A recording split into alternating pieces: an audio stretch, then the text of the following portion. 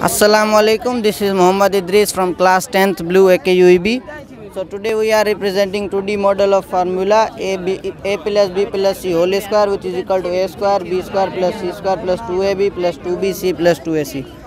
हम ये फार्मूला पढ़ते हैं कि भाई हमें पता है A square plus B square plus C square ये तो हमें पता है ये आ गया पर ये दूसरे जो एलिमेंट्स इसमें आ रहे हैं A B A C to A C ये कहाँ से आ रहे हैं तो अभी हम ये रिप्रेजेंट करेंगे एक चार्ट के ऊपर एक हमने मॉडल बनाया है तो हम for example A plus B plus C इसको लेंथ जूम कर रहे हैं और A plus B plus C एक वर्थ जूम कर रहे हैं स्क्वायर एक ऐसा शेप होता है जिसमें लेंथ और वर्थ बिल्कुल सेम होती हैं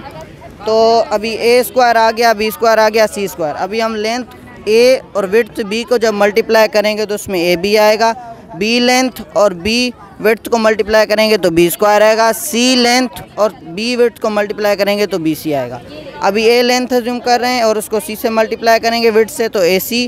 बी को सी से मल्टीप्लाई करेंगे बी सी सी को सी से मल्टीप्लाई करेंगे तो सी स्क्वायर अभी ये पूरा मॉडल बन गया अभी हम आपको ये कार्ड यहाँ पर रख के दिखाते हैं कि कम्प्लीट स्क्वायर बनता है कि नहीं यहाँ पर ए सी ये B C A B